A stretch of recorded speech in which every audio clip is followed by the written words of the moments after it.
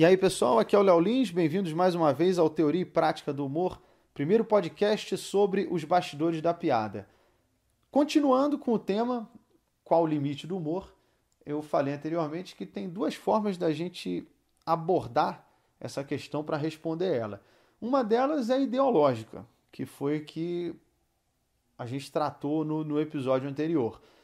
E dando continuidade, supondo um cenário de neutralidade ideológica, qual é então o limite do humor? Eu respondo para vocês em duas palavras: não tem. Não tem. Para mim, o humor não tem limite. Humor. O que tem limite é onde o humor está acontecendo. Né? É, ele está sendo na, é na TV? É na internet? Se for na TV, num programa. Que horas é esse programa? É de tarde? É de madrugada? É, é no teatro? É, é num blog? É num podcast? Enfim, é, é, essa peça de teatro, qual é a censura? A partir de quantos anos? Isso vai determinar qual é o limite do humor, certo? Vou pegar, por exemplo, a piada que eu citei já no, na parte 1, que eu tentei fazer uma vez no The Noite, que era ah, quem que deve acender a, a tocha olímpica, a pira olímpica e tal. E eu falei, a pessoa mais indicada é o Roberto Carlos, porque se faltar linha ele pode jogar a perna. Eu fiz essa piada lá e o pessoal cortou. Falou, não, não, não vamos fazer essa piada é, explicitamente falando do Roberto Carlos numa TV aberta. Entretanto, eu faço essa piada no meu show e não tem problema nenhum. É, as pessoas dão risada, diversas vezes aplaudiram. Essa é uma das piadas do meu show Bullying Art. É, lá, ela está dentro do limite. Na TV, ela passou. Então tiveram que cortar. Ou seja, o limite do humor depende de onde ele está acontecendo. E, consequentemente, das pessoas que fazem parte desse meio onde ele está acontecendo. Por exemplo, é um programa de TV sábado à tarde. Ele vai ter um limite é, baixo, porque é um horário onde tem, tem famílias em casa, tem crianças em casa. Então, você não vai poder, num programa de TV, fazer uma piada que tem a palavra caralho às quatro da tarde. Não pode. É, na TV, na verdade, vai ser muito difícil. Entendeu? É, pode ser que num programa de madrugada, etc., aí, aí você consegue. Do contrário, passa. É como se você pegasse, vamos pegar o limite de cada pessoa que está assistindo. Vamos supor, programa 4 da tarde. Vamos pegar o limite. Porque cada pessoa tem um limite. É, eu creio isso. Tanto que algumas coisas, algumas piadas podem ser ofensivas para certas pessoas, mas não são para outras. Certo? A do Márcio Ribeiro, a piada da hóstia. Que eu ah, a hóstia é o corpo de Cristo, eu tenho que ficar botando a mão para tirar a hóstia da boca. Pô, já que é o corpo dele, sei lá, vai que eu acerto o cu dele. Tô cortando aqui porque vocês já devem ter ouvido no, no episódio anterior.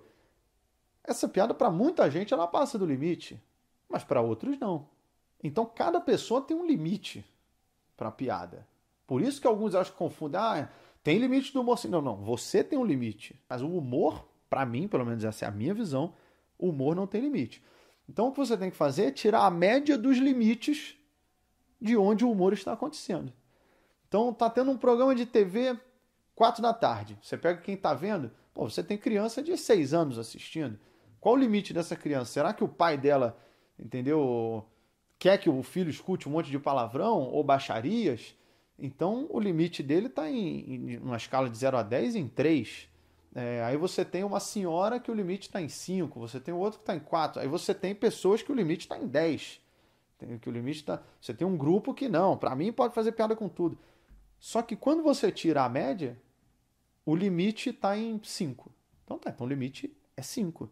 Quando você vai para a madrugada, onde já tem. Ah, o pessoal mais novo já está dormindo, é, o programa já tem um ascenso recomendado para maior, vamos supor, de 12 anos. Então o limite, opa, já subiu para já subiu para 6 o limite. Quando você pega um teatro, o limite às vezes já, opa, aqui já dá para em 7, aqui já dá para se eu fizer uma piada com palavrão, com putaria, a chance de alguém ficar ofendido é, é menor do que eu fazer isso num, num, programa de TV 10 da manhã, depois do sábado animado, depois do Tom e Jerry. É, é claro que certos assuntos ele já tem uma sensibilidade maior. Por exemplo, é, piada com nazismo. Você vai precisar de ter uma plateia com um nível de sensibilidade, vamos supor, 9. Eu estou dando exemplos numéricos assim, aqui para facilitar a visualização, porque a gente está falando de algo abstrato. Né? É difícil definir o limite do humor de uma pessoa. É, mas vamos supor que nazismo, que é um tema delicado, é, afinal de contas morreram várias pessoas, enfim. Tem gente que vai falar: não, não pode piada com nazismo. Não pode, não pode. E outros vão falar: pode. E vão falar: ah, mas pode porque você não é judeu, sua família não sofre. Não, e tem gente que fala: não, eu sou judeu e acho que pode. É, não é o caso, eu não sou judeu, mas eu acho que pode. E você vai encontrar de tudo. Você vai, você vai encontrar judeus que acham que podem, judeus que acham que não podem, não judeus que acham que não pode e não judeus que acham que pode. Tem de tudo. Então, por quê? Porque cada pessoa. Aí é o humor de cada um, ele é influenciado pela forma que a gente é criado, enfim, não vamos discutir. É, não vamos entrar nesse mérito sociológico. Mas, enfim, cada um tem o seu limite. Então, a piada de nazismo precisa de um nível, vamos supor, 9. Você não vai ter isso na TV 4 da tarde. Agora, eu, eu faço piada, eu tenho uma piada com nazismo no meu show. Ali, as pessoas sabem que o meu show é pesado. Então, vamos supor que você pega o limite da plateia, você tem uma pessoa com 7, mas você tem outro com 10, outro com 10, outro com 10, outro com 9, outro com 8,5, outro com 9,3, outro com... Quando você traça a média, está em 9,2. Então essa piada é aceita. Vai ter algumas pessoas que podem não gostar, vai ter uns dois ou três que falam, porra, não, achei que aquela ali não, não devia, porque o limite deles é abaixo. Mas na média, essa piada foi, foi aceita naquele local, naquele show. Mesmo sendo um tema delicado, né? Tem, tem vários temas que são que vão exigir um, uma média de limite da plateia mais alta, né? É, nazismo, é, piada com, com negros, é, deficiências, é, gays, homossexualismo, assalto, morte, é, suicídio, estupro, pedofilia, que, que a propósito são temas que eu, que eu abordo no meu show. Então, para poder justamente abordar esses temas, o que, que eu faço? Eu deixo isso bem claro. É, o, o, cartaz do show eu tô com a camisa de força. Eu vendo falando que é o show de stand-up mais pesado do Brasil. É, eu coloco ali que o pessoal fala, pô, você, o cara é o rei do humor negro. Eu falei, pô, legal, vou botar esse título na página. Então, quem tá vendo que tá lá escrito Rei do Humor Negro, metralhadora de insultos, eu tô com a camisa de força na capa, o nome do show é Bullying, que é Bullying Arte. Bom, não vai ser piada sobre eh, borboleta e arco-íris que você vai ver no show.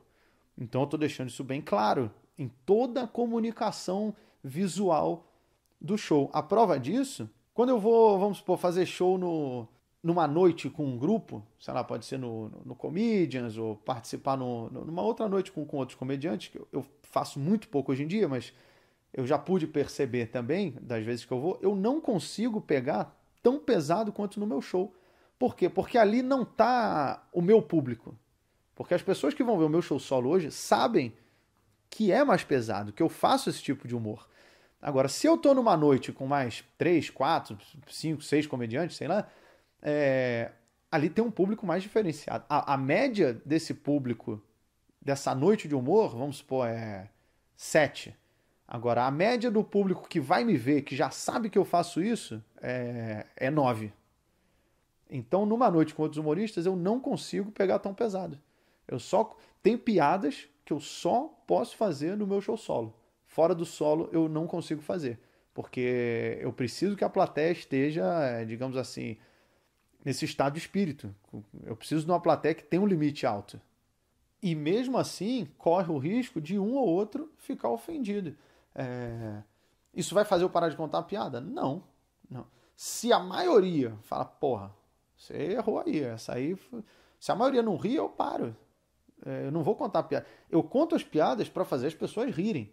Eu, eu, não, eu não tô contando para para chocar ou para ofender ou para não, todas as piadas que, que eu penso, que eu escrevo, que eu faço é para fazer as pessoas rirem. Entendeu? Se a pessoa, se a maioria não ri, eu falo, opa, então, pô, errei a mão aqui.